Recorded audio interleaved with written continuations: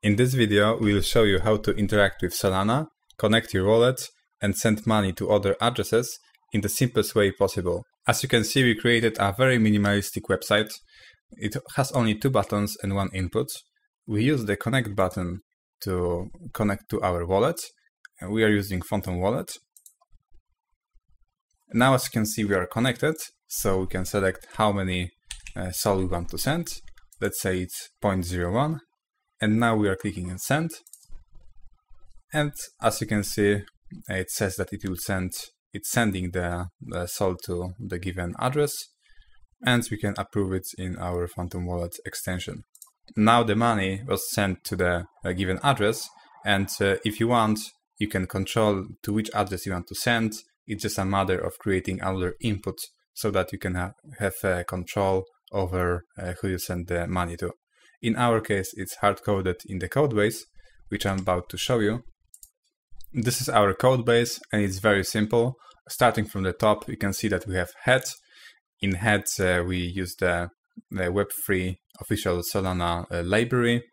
We import it to our HTML. Down below, we have uh, standard HTML stuff you're probably not interested in in this video. Uh, just simple widgets, buttons, inputs. And they are of course styled in our CSS file, but this video is not about CSS. But anyways, we'll upload it to GitHub, so you'll be able to copy it and uh, create your own uh, page. But let's get back. And here uh, it's uh, here's something you're probably interested in, which is the script. And in the script, you can see that uh, we'll use our wallets. We create our Lamports per sol, because every sol has a given Lamports per sol, just like in Solidity, every ETH has a given amount of Wei. Uh, here's our connect wallet function that's connected to the connect button. So when you click on the connected button, uh, use try to connect to the wallet. If it works, that's great. If you have an error, it's catched and we create a, a console log. If you add you could uh, create a new widget on the screen and display the message to the user too. And down below you can see that we have a listener so that uh, when the Solana is connected, uh, we change the connect button text to connected so that the user know that he's connected, he doesn't have to click the button again, uh, everything's fine. Uh, then uh, we have the send button click, which is connected to the button for sending the funds.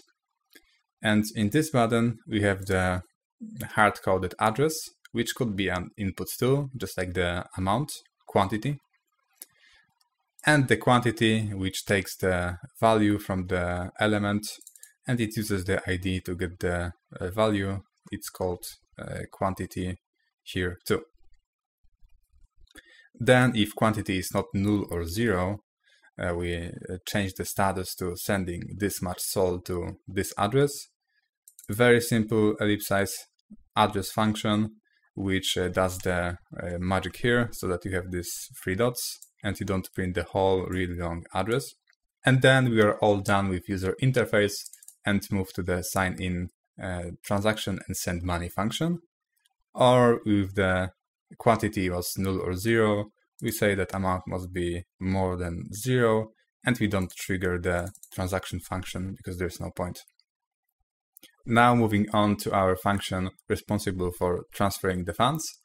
You can see that we start with uh, creating two connection and transaction objects from the library we imported to this HTML.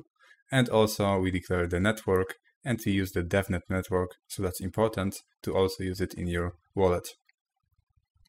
And then we start the whole try clause in which we create a new const lamports. So we take the quantity uh, from the input from the user interface and multiply it by lamports per sol so that uh, we uh, send uh, the amount in lamports, not in a sol. It's important to operate in lamports uh, in the source code. Uh, we have some console logs and then we take the destination public key so the receiver, we get the account info, just uh, Solana boilerplate. We take receiver account info, again using the uh, library. and then we, we are all done. We can create a new instruction of uh, transferring money from um, wallet to wallet and this amount of lamports. We used to operate on a hard-coded amount of lamports, so this comment is uh, not needed here because now we uh, put it in our input. And uh, then we create the transaction. So we set the wallet transaction, which we can use in our sign and send transaction function, uh, as long as we take wallet, transaction, instruction, and uh, connection. Connection being again the object from the library. And uh, that's it. That's the big uh, wall of code here, but uh, pretty simple.